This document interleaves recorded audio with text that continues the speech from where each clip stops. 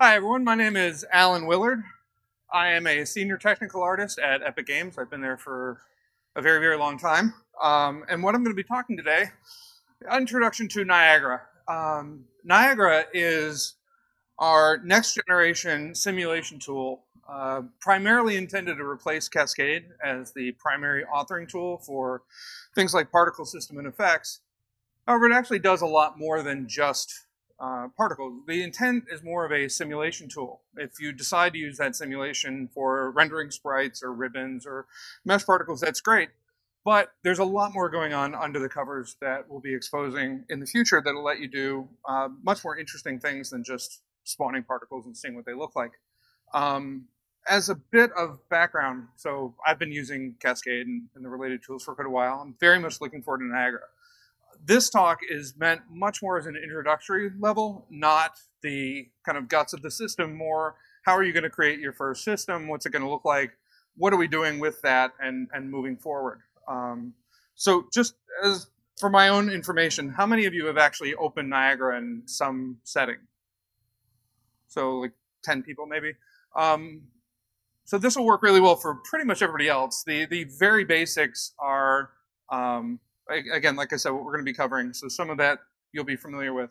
Um, and then again, this is going to be a fairly short talk. I'm not getting uh, too deep into any one uh, particular part of it. So let's go ahead and get started. So at SIGGRAPH earlier this year, Wyeth Johnson, who's the uh, one of the lead artists at Epic and, and doing primarily the heavy lifting on uh, the art side of design and implement implementation for Niagara, uh, gave a much more in-depth talk. So if you're interested, you can go to the Unreal Engine YouTube channel and you can find this talk in its entirety. Um, even if, if you're never planning to go beyond the introductory phase of, of Niagara, it's still worthwhile information to have on how it's integrated in the engine, where we're going with it, and things like that. Um, so Niagara, much more so than Cascade, is node-based meaning similar to blueprints or our other graph tools, you can connect chains of logic together to modify or create your final result. It's programmable in that we can actually make those modules now as artists. I don't completely have to rely on engineer or our engineering team to make a module for me that I can plug in, that I can share with other artists, and that is extensible. So all of these systems are designed to not only work with Niagara, but also link into other systems. Uh, so if you have, say, a data interface, which is what we call our import mechanic for bringing in data from something like Houdini or um, even within the engine, something like a skeletal mesh, we'll be creating more of those. So as the tool develops, you'll have more interaction with other uh, internal and external tools. And of course, it's cross-platform and scalable. Part of the initiative right now is to make sure it's working on every single platform that we ship on, that it's usable, that the uh, choices that we make from an engineering standpoint make sense given that breadth of uh, implementation. So I'm going to go ahead and uh, actually jump into the editor here for a bit.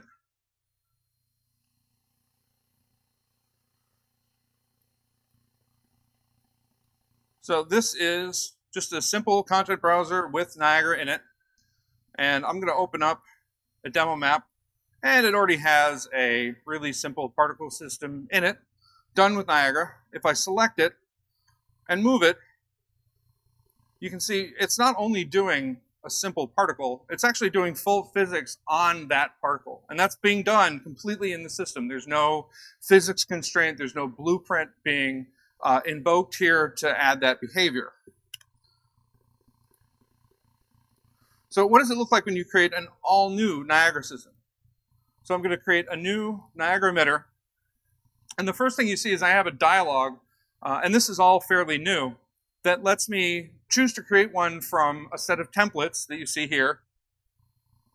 I can copy one that already exists. So if I want to just take an effect that someone else has done and, and duplicate it, or I can create a complete blank template. The really cool part of this whole template scheme, though, is that it's defined by the team.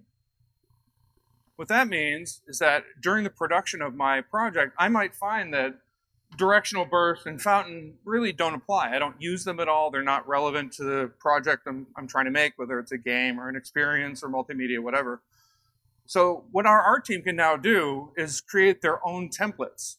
So say every effect in my game happens to be spherical in nature at start, I could just have a sphere burst be my top line emitter that I can choose from. And then when I choose that and create, it'll automatically set that behavior up so that I can see it. And now I can begin working with it from this template that's been predefined for me. I can go way beyond that. I can have an entirely finished effect be that template and then move on from there. And one of the ways that this works is that Niagara itself is extremely modular. While I have an emitter open now, this isn't the entire particle system. This is just what in Cascade would be referred to as a sub-emitter. But in Niagara, I can see all of its behavior simultaneously. I can make modifications. And this object actually exists in the content browser. In Cascade, if I wanted to share an emitter between two systems, well, one, it wasn't very easy to do, but they all existed inside the systems. I didn't see those as a hierarchical category of, of pieces. So what we have here inside of this emitter is the stack that makes an emitter possible. I'll minimize this down a bit.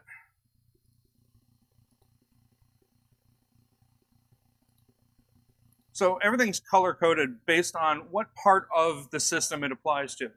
We have the base emitter behavior, and this is things that control um, the, the core emitter. How long does this emitter last? Um, things like, is it a GPU or CPU, stuff like that. Then we have the particle spawn. And particle spawn happens when the particle is actually created. All of the modules that go into defining these behavior understand which part of the stack they're in. So for an example, with um, particle spawn, if I set something like velocity, in Cascade that would be considered initial velocity. I'm not updating this. I'm saying when the particle spawns, here's the velocity I want this payload to have. So for add velocity, because that's happening at particle spawn, all that's really doing is the initial velocity that this burst has is slightly more weighted towards going negative x than positive x, but it's not updating every frame. I'm not saying, okay, now your velocity is this and add to it. That happens in the particle update portion of the stack. So if I open up particle update, that's where things like forces come to play. Stuff like gravity or wind or curl noise or even things like just standard acceleration where I give it a vector and it tries to follow along. And all of these values I can type in manually.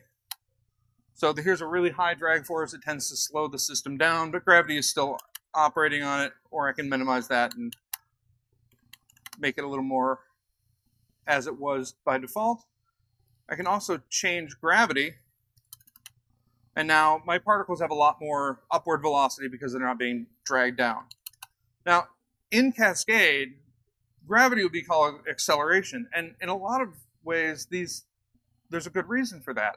Acceleration is just the tendency for a particle to move in some direction. Whereas gravity, most part, most ways, especially in games, it's just a downward force like that. But the reason we've separated it as a gravity force is because we're spending a lot of time identifying things that'll make systems look more realistic. Things like using gravity and, and physical forces instead of just arbitrary values that we expect the user to eventually understand the range and the limits and things like that. Instead, we're trying to define more physical constants, things like mass, density, gravity, that can be um, applied to any particle system, and they'll all look like they're physically similar, at least in response. So I'm going to open up a Niagara system. And in this case, the system looks exactly the same as the emitter. It's, it's only bringing in that uh, the emitter that creates this particle system. Now, you'll notice that this orb starts off spinning slowly and then increases in velocity and rotation speed as it moves. And a lot of that is because it has mass. So in this set variables, we have this concept of namespace. And a namespace is, does this affect the part of the, the particle itself? Does this affect the system? Does this come in as part of a module? So in this particles namespace, I have mass. So I can look at particles, here's mass. So it's a core component of the particle system.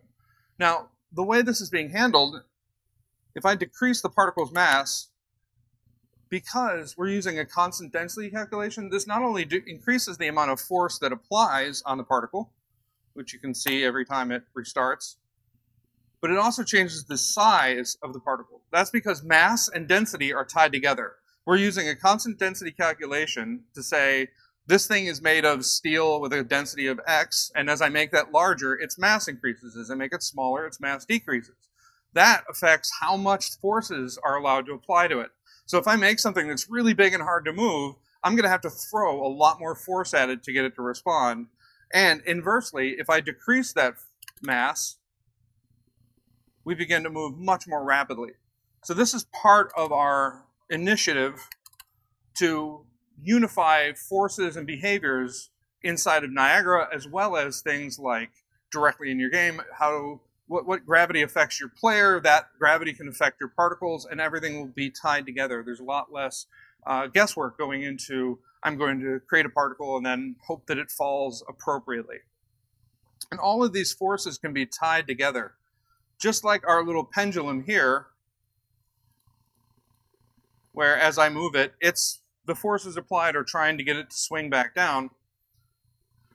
We can do something a little more dramatic. Give me a second to switch levels here. And I'm going to open up pendulum ball. So this pendulum ball was written by Wyeth, the, the gentleman I pointed out in the opening. And what it's doing is it's illuminating the pins on this orb based on the amount of force that's applied, which there's also a small amount of curl noise that passes through the system, and that's where the occasional ripple comes from. But the awesome part is this is all being done in real time. So if I just drag this system in,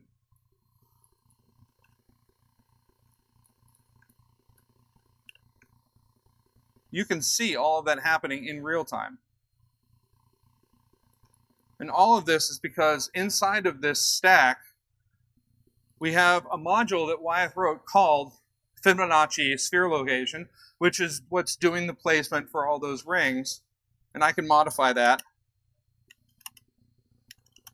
And because all of these uh, modules can work together, as I change that, it can change the forces applied. The module itself looks like this. So I'm literally writing, just like you would in Blueprint, I'm taking, here's what the particle is doing, here's the data that I can interact with. I can do math operations very simply. And again, it's context sensitive. It looks just like working with blueprints. Um, but what I'm actually doing is I'm writing a script and then I can expose in that namespace, here's those module uh, dot namespace. So these, if they're named that, will show up in this module as user editable inputs. So I can write something that is very both um, multifunctional. I can write it so that I don't really care what particle gets it. It just does its thing and moves on. Or I could write something that's a little more complex and single purpose and all of these can be exposed to the users. These modules that I'm writing aren't don't live inside of this particle system. They live inside of the content browser, just like everything else. So I have my mass example, I have input scripts, I have functions and modules. They look just like this, but I can just drag them into my Niagara emitter and they'll immediately begin working. And again, all of this is still in early access. And What that means is that we are constantly evaluating whether or not we've made the right decisions from uh, a user interface point of view, from a code side, from the expected flow for uh, artists and uh, other designers to use it, and we're making changes. So while it is all accessible and you're more than welcome to play around with it, we would caution some restraint when planning to use this in a shipping project until we've um, announced that we are uh, releasing it as a as a full aspect of Unreal Engine 4. Uh, and before you ask, I don't know for sure when that is. Um, we our our big pushes right now are for compatibility across all platforms, making sure that all of our choices in terms of scalability, um, rendering, things like that are all accessible. Um, we have a couple other demonstrations in here as well. Random springs. So if you wanted to literally just have, you know, little floating arrows, I don't know why you would, but it does mean that like this same code that's running on here can be used to do uh, floating candles in Hogwarts or um, coalescing particle effect before an attack in something like uh, a first-person shooter or a, a fighting game. So all of these modules are way more utilitarian than they look when you first use them because, again, they can be shared between different uh, particle systems. We have data interfaces that allow us to bring that data and drag it across from uh, one portion of the engine to another. So if I wanted these uh, pendulum uh, pins to be on a skeletal mesh, we could do that as well.